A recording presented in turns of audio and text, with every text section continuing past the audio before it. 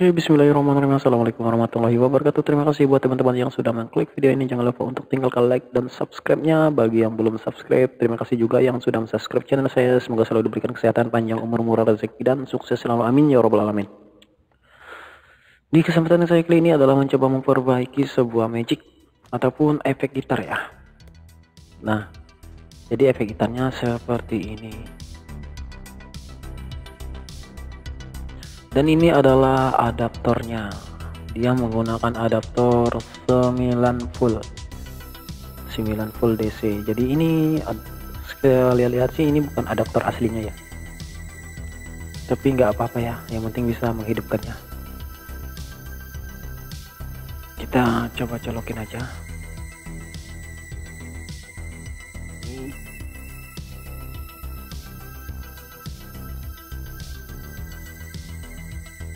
Oke, dia langsung menyala saat kita colokin.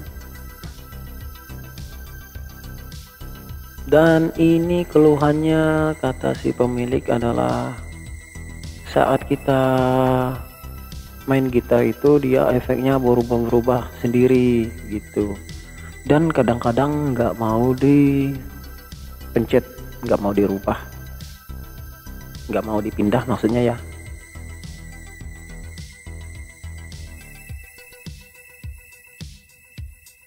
Ini masih bagus ya normal. Dia setelah beberapa menit gitu dia akan error. Errornya ya seperti itu. Kadang-kadang nggak mau dipencet dan kadang-kadang mencet sendiri gitu.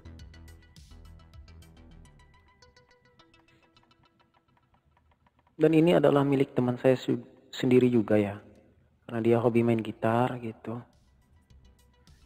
Jadi saya juga dikirimin video cuplikannya sebelum sebelum barang ini datang ke tempat saya saya dikirimin videonya. Videonya nanti akan saya tampilkan habis ini.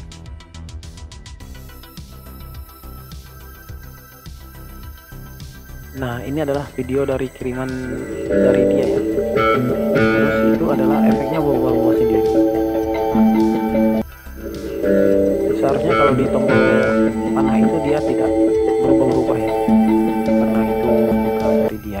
dari dia juga. Dan setelah saya cek ini normal ya normal. Katanya sih setelah berapa menit dia tuh mulai error gitu. Ini masih normal ya nanti berapa menit dia akan error ataupun tidak mau dipencet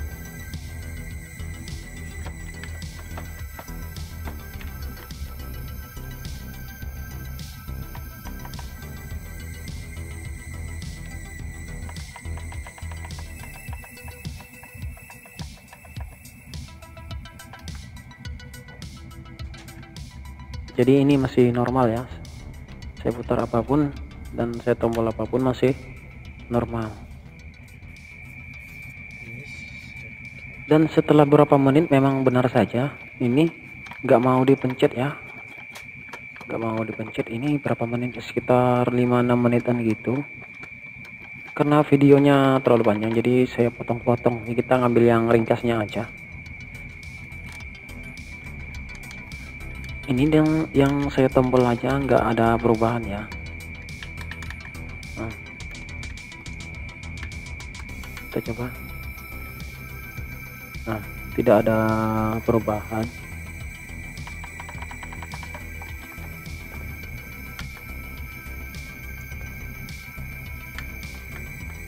Jadi langsung kita bongkar aja ini. Kita lihat untuk bagian dalamnya seperti apa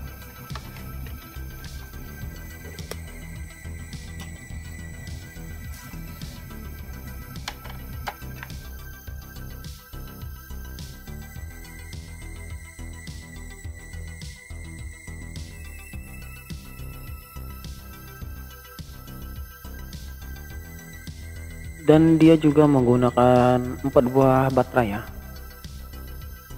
Baterai jam biasa jadi kita harus sapu dulu bersihkan kita akan buang debu-debunya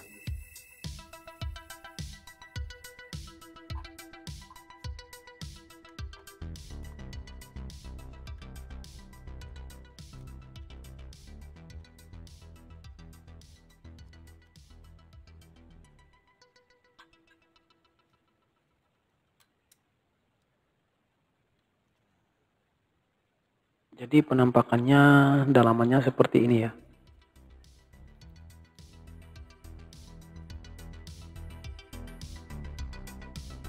Di sini saya curiganya hanya dengan tombol. Mungkin hanya tombolnya saja ya karena dia kadang-kadang nggak mau dipencet dan kadang mencet sendiri gitu. Alangkah baiknya kita cek terlebih dahulu untuk tombolnya satu persatu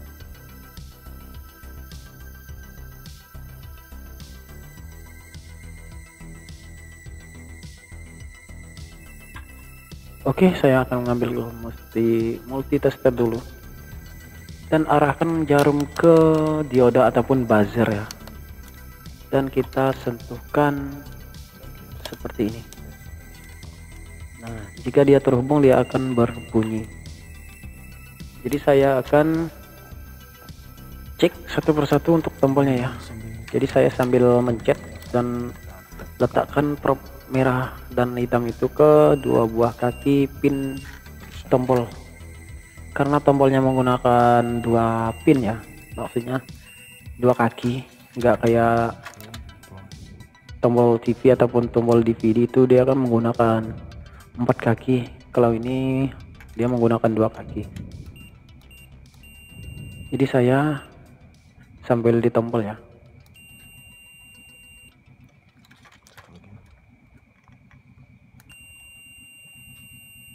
nah yang ini kadang-kadang kadang error gitu. Dan menekannya juga harus kuat baru dia terhubung. Kalau pelan dia nggak terhubung. Nah ini agak-agak sedikit error ya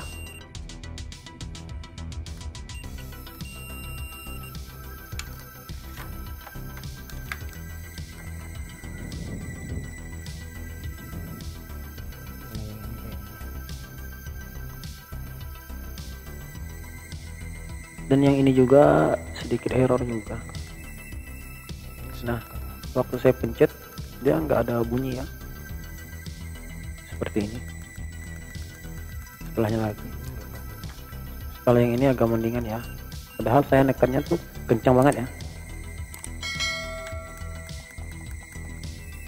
Oke langsung kita copot aja ini tombol-tombolnya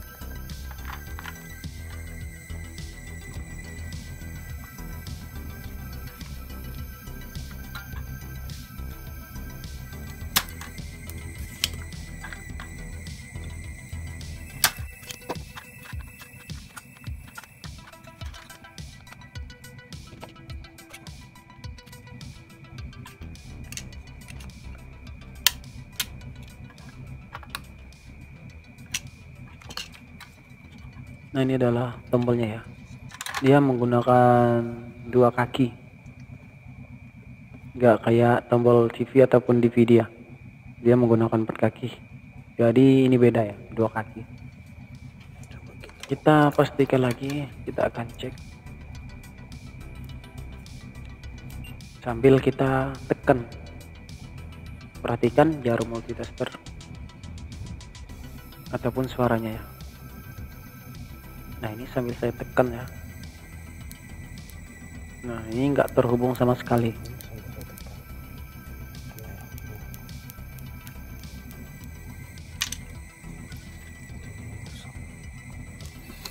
Tapi saya di sini akan mencoba mengganti tombol-tombolnya. Dan nanti akan kita coba tes setelah ganti tombol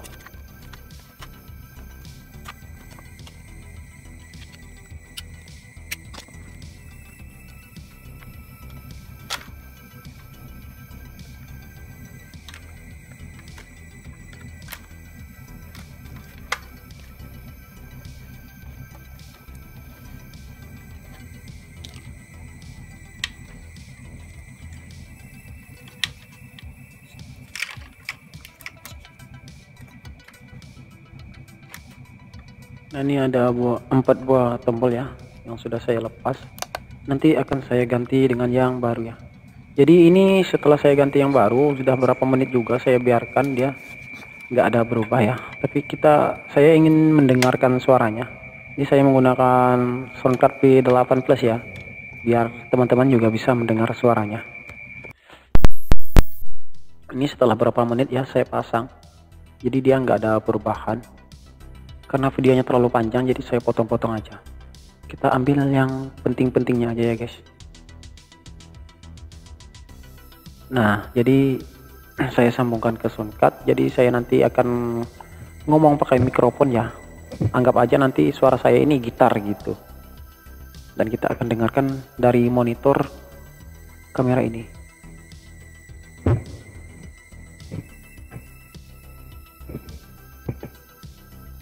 jadi saya mendengarkan dari earphone ya. Teman-teman bisa mendengarkan dari sini nanti. Dari kamera. Dengar suaranya.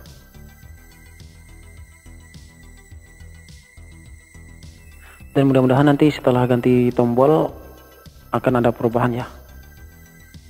Dan alhamdulillah juga tadi udah berapa menit saya biarkan gak ada perubahan ya ini adalah volumenya sudah mulai berfungsi dengan baik volumenya ada 30 ya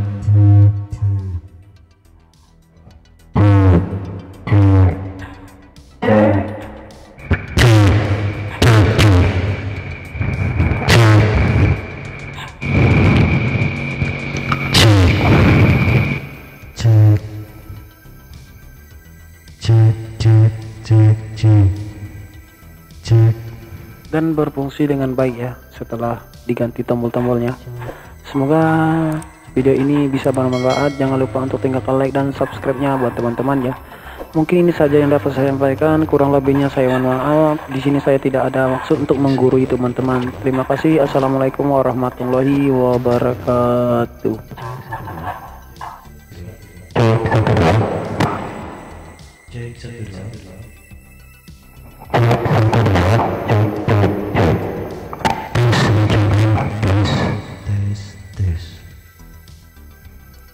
Cek cek cek